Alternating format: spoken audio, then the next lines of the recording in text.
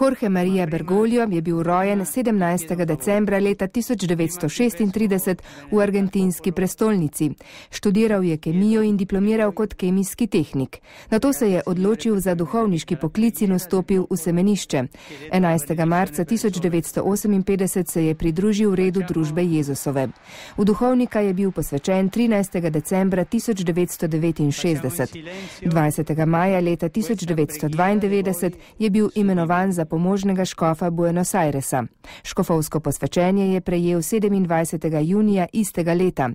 3. junija 1997 je bil imenovan za načkofa koadjutorja v Buenos Airesu.